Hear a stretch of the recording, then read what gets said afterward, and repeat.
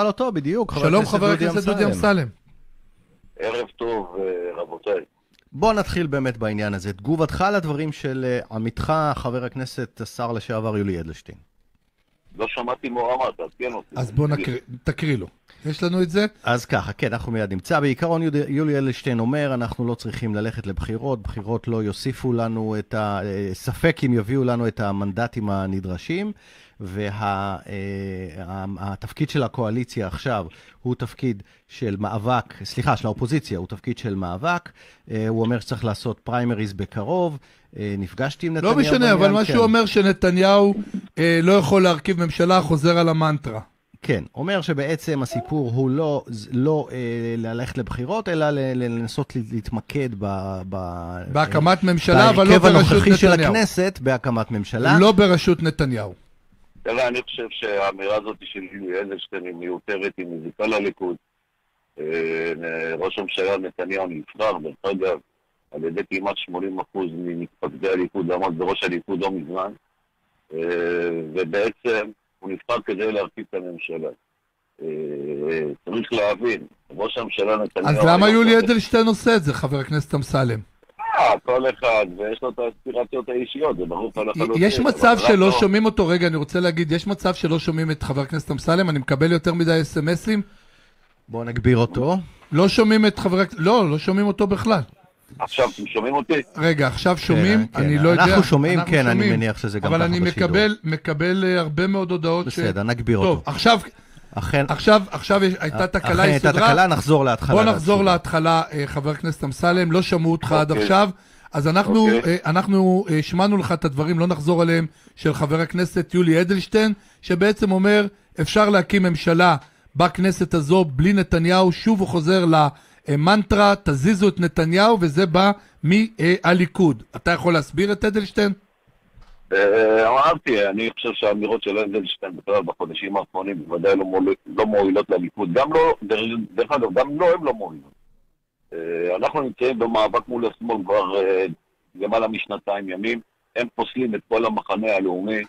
אה, הם בעצם דרדרו את מדינת ישראל לפי תהום. אנחנו עוד מעט, אני לא צריך בכלל לדבר על זה הרבה, אני מציע, אני מניח שאתם מבינים לבד ש-70-80% מהאזרחים היהודים במדינת ישראל מרגישים שברחה להם המדינה, שאין להם מדינה, מפוחדים, מבוישים, אנשים ש...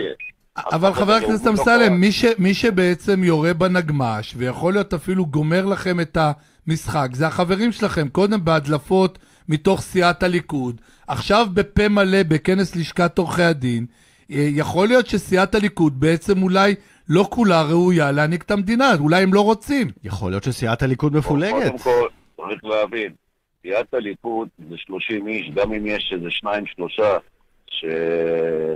שמים את האינטרס האישי שלהם לפני המדינה והליכוד. אז תמיד יש, אז יש, אני מניח שגם האנשים בהמשך הדרך, הפריימריסטים, הליכודניקים, בסופו של דבר גם מתקנים את הדבר הזה בהמשך. הם מבינים, כשבן אדם מסוים הוא גורם מפריע למחנה הלאומי, אז דואגים לשים אותו בצד.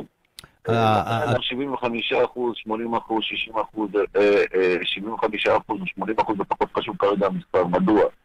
בגלל שאנחנו בסוף נביא את זה ל-100 אחוז, זה לא משנה. עכשיו, מה קרה? אנחנו רצינו להראות לעם ישראל שיש פה פעם ראשונה מאז קום המדינה, ממשלה במדינת ישראל שלא יכולה להעביר חוק עבור חיילים. ממשלה כזאת אין לה זכות קיום, זה ברור. למה? בגלל שיש לה מרכיבים בפנים שהם רוצים לפגוע בחיילים. הם רוצים בעצם, ובעצם, מה זה חיילים? זה הילדים שלנו, זה סמלי מדינה, זה, זה הגנת המולדת. ולכן, דבר שהוא אצלנו קונצנזואלי, כולנו מבינים שחיילים מחבקים, יש גוף בתוך הממשלה הזאת שמקבל תקציבים במיליארדים מהממשלה הזאת. דרך אגב, זה אחד נותן לשני, כן? והוא נגד חיילי צה"ל. וזה האירוע הכי חשוב פה, שהוא, שהציבור פקח את העיניים והבין שהממשלה הזאת אין לה זכות, זכות, זכות קיום לא מוסרית, לא פוליטית, לא כלום. זה ממשלה של פלסטינים, לא של יהודים. אבל... עם חיילי צה"ל, אנחנו צריכים להיאבק איתם, עם מי? אבל מה עשיתם? נאבקתם כל הזמן בסך הכל על 12 וחצי מיליון שקלים. אתה, כן, אתה מבין מה זה, אבל, אתה מבין אבל... את הלעג לרש, 740 מיליון שקלים אושרו לפני כמה דקות בוועדת, כן. אבל זה מה שאני אומר, הרי ברור לך לחלוטין, אתמול הם העבירו בוועדת כספים בעקבות הדרישות של זועבי וכולי, מיליארד שש מאות אלף שקלים. עכשיו, למה דרך אגב הם התקיבו חלק מהכספים? אני אגיד לך. בגלל שחלק מהכספים לרשויות מגיע, מגיעים בוודאות לארגוני פשיעה חמורים. עכשיו, הם רוצים להילחם בארגוני הפשיעה לכאורה, ולכן הם רצו לעשות כל מיני בדיקות. היום הם כבר דילגו על הפקידות והביאו בדיקות וכולי, ושמו להם ישר את הכסף. דרך אגב, משטרת ישראל מעולם לא עצרה כמעט שום ראש רשות אה, ערבית שבשחיתות ציבורית, הרי שם רוב הכסף הולך לארגוני פשיעה. אז לכן מה שאני רוצה לומר לך... אז איך איילת שקד נותנת לזה יד? נו, זה לא משנה את מה שברדוגו אומר, זה לא סותר. ההפך. איילת שקד לא בלופ הרי, מה קרה? אה, אה, הגברת זועבי החליטה שהיא לא מדברת לא עם בנט, למה הוא לא ראש ממשלה, הוא סתם בובה שם.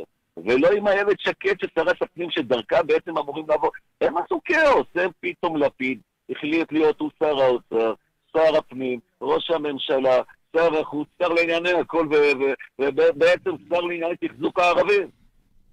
עכשיו, היהודים לא מעניינים אותם, הוא הרי לא היה בצה"ל, לא שירת באופן מעשי בצה"ל. חיילי צה"ל לא מעניינים אותו, מעולם לא עניינו אותו, ולכן זה הכסף. עכשיו, מה היה חשוב לנו אתמול להעביר לציבור? הרי זה באמת לא הסיפור של 20-30 מיליארד שקל, מיליון שקל. דרך אגב, זו הבושה שלהם. אני אמרתי להם, חבר'ה, עם זועבי ישבתם לדיון, ועשיתם איתם משא ומתן. נתתם לה כמעט מיליארד שקל. למה אם אנחנו עם דודי אמסלם וחבר מרעיו, אתם לא יכולים לשבת איתם? למה? למה? למה? בגלל שהם אפסים, בגלל שהם אנשים קטנים. אבל אולי הם, אולי הם במסע בחירות, ומבחינתם, כמו שאמר בני גנץ, אתם נתתם... אה, הם רצו תמונת ניצחון, אתכם מצביעים נגד, ודרך אגב... איזה, איזה תמונת ניצחון?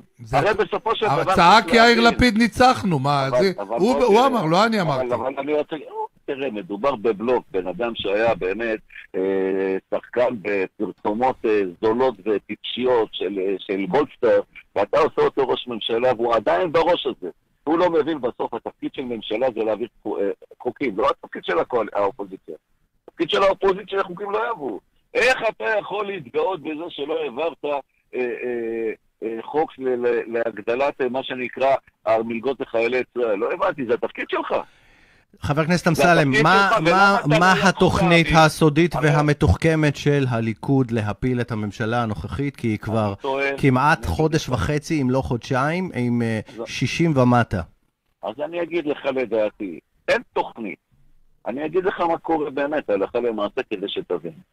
קודם כל, ממשלה נופלת מתוך עצמה, היא לא נופלת בגלל אופוזיציה, זה פעם אחת. פעם שנייה, תראה מה, מה, איך, לאיזה חיים הם קמים כל בוקר, צריך להבין. יש לך מצד אחד מנסור עבאס, יש לך, יש לך את זועבי שהייתה שם, יש להם 60.